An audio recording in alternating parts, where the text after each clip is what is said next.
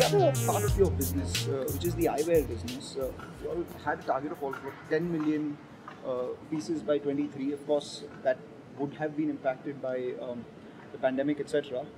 What is the updated volume target on that one? Actually, the team spent the last two years in really, you know, streamlining the operations of the division and the business, and it shows in the results. It does. and it shows in the uh, predictable monthly performance on every line of those results actually. And having done that, having established that foundation and actually created a culture of you know gross margin cost, all that that I spoke of, now the team is you know dreaming big from a sales growth point of view and we'll soon be you know sharing what we actually are gunning for in the eye care business on that front. But that 10 million target, which was the inspiration which Bhaskar and others had started, is certainly going to propel us in that direction. What is it right now? Last, I mean, Uh, in terms of the numbers, uh, it's, and I don't know if I recollect, it's about a million and a half or two, under two million, if I recollect right. Um, uh, from the uh, number of pieces point of Yes, view. yes. yes. You From- have a serious amount of cash on your books. The balance sheet has never been a problem for Titan. Uh, the group uh, also has a fair amount of strength. Were the need for that capital arise at any point in time as well? Is an acquisition in the eyewear space on your minds? Uh, nothing at the moment. Uh, I think we have reached a fantastic position. The customer value proposition of Titan Eye Plus, which is our brand, Lenskart, a solid amount of uh, brand equity that they have. They have positioned themselves as uh, you know people who would like to sell online and now are opening stores offline as well. Um, with the kind of valuation drawdowns that we've seen in uh, the new business space over the last year or so, I'm sure uh, you know opportunities like this may have come your way as well. Uh, have you ever thought of something like that? No, we continuously keep thinking about it because after the investment in CaratLane seven years back, six years back, we've certainly become very open to that way of growing. Um, it's just that the right uh, partner, target, whatever you call it, uh, has to come along. your market share in the jewelry business uh, has increased from what, 4 to 5 percent to about 6 to 7 odd percent. What would be your uh, you know aspirational target double digit uh, in the next couple of years? Uh, certainly in the direction, it's, it's actually very difficult to actually pin this down because of the nature of the industry.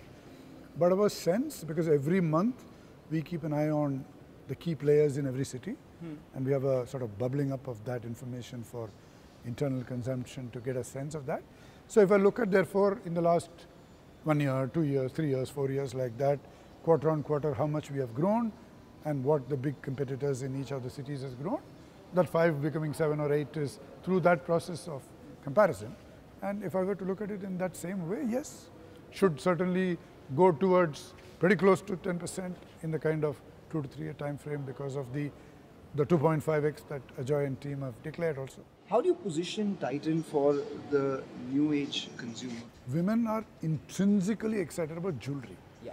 Now, some women may have a view on why should I spend sort of tens of thousands on a fine jewelry which is made of gold and diamonds. I can buy something which is made of copper, right? But uh, the the store of value aspect of jewelry is so deeply rooted in the Indian, I would say DNA, that it would take probably two three generations for that to reduce. Which means the success of a CaratLane or a Mia is because that on the one hand they are accessories and therefore they're part of your makeup, get up, emotion and all that. But equally they're store of value. So is now the next leg of uh, you know growth in terms of positioning for the jewelry business, adornment and beauty? Because you came as a person who was extremely pure. The purity of gold was the first plank and organized nature of the business. The, the trust that uh, brand Tata and Tanishq bought with Titan, etc. All of that were the planks that you grew on. Now with hallmarking, a lot of that has uh, you know been standardized, purity, etc. Uh, a lot of the brands have come in as well. Some of them in the listed space too. The Tanishq brand and the Tanishq product have both become much, much more central to the purchase by Tanishq customers, I would say at least for a decade now, hmm. as much as the Tanishq purity. Around the 2012s, 13s, in my own conversations with customers, design started becoming central to the, I buy Tanishq because of design. Yes. I buy Tanishq because of brand, right? So today Tanishq is bought for brand and design and of course Tata and purity. And also for exceptional customer experience and relationships in the store. So while many other companies are listed, many other companies of, are big and well known, on some of these parameters, they are distant from us. And what about the new businesses that you're seeding? Uh, you have skin. Very excited about perfumes. Taneira, we want to make Taneira like what we made Tanishq for the jewelry industry in every which way. You were looking to grab a big market share of a growing market in the jewelry business. But out here, I'm not sure how big the ethnic wear market, specifically saris, high-end ones, are growing at, and what happens to Taneira in terms of growth when you equate it with the parallel of a Tanishq? Can it be as big? Uh, you're certainly right uh, on the point that you make about the Taneira category. Uh, the, the, the sari market has got disadvantages from a customer profile who wears saris and the younger women not wearing saris kind of thing. But despite that, the sari industry is very, very large. Uh, in our uh, estimates, it's of the order of 50,000 crores. Okay. Now, women used to, and I'm sure even today, used to buy many more saris than they actually wore hmm. because women are in love with saris. One of the things that we do feel that the sari industry has not done well enough is to actually keep the category current right. from a wearability, comfort, from a design relevance, from a craft integration into deep design stories and all that, and keep a certain vitality in the category in the connection with the customer. I think Taneira will is seeking to do that, is already doing that wherever it is, but will soon do it at a national scale. How about the 20 plus who are not wearing Yeah, so there there are two, three you know things sitting there. The 20 pluses, I have two daughters, both are in that age group.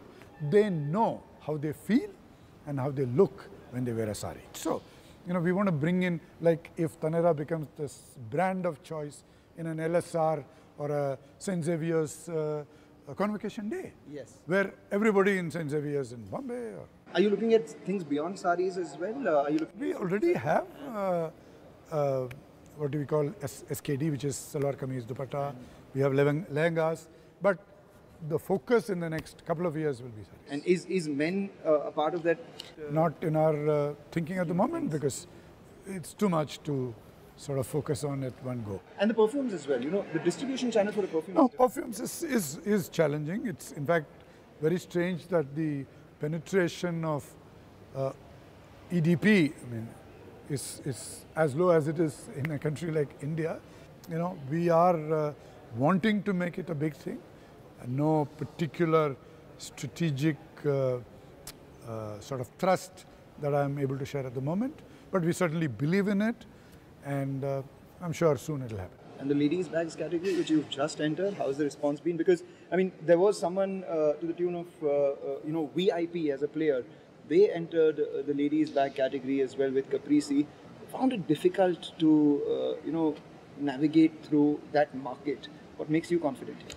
See, it's a wherever it is a product on the person, which makes the person feel good, look good, and all that, and where a certain consumer orientation is useful in building much better value propositions, we have done exceedingly well.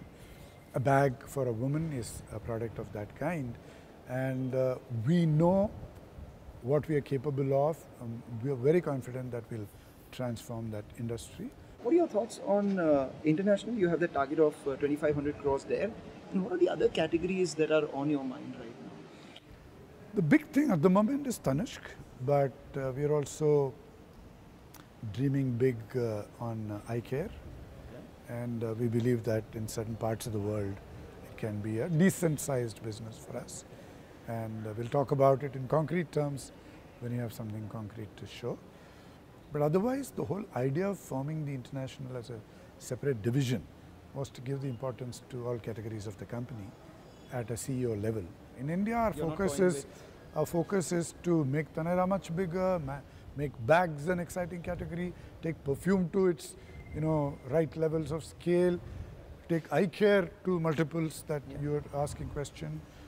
CaratLane and Mia are booming, so we got enough wearables, the big thing. So in the next two years, uh, nothing at the moment that I can. Mr. Venkatraman, you know, you have spelt out the vision that you have for the company. It, it was an extremely strong company before, uh, you know, you took over. In it continues to be in your able, safe hands, and the vision that you have for it uh, should comfort all the investors about uh, the future of the company as well. Um, three years before you turn 65, I believe. Uh, have you thought beyond that? I'm really looking forward to the fun I'll have after 65 years. And for the company? How company goes on. The Titan company is bigger than any individual.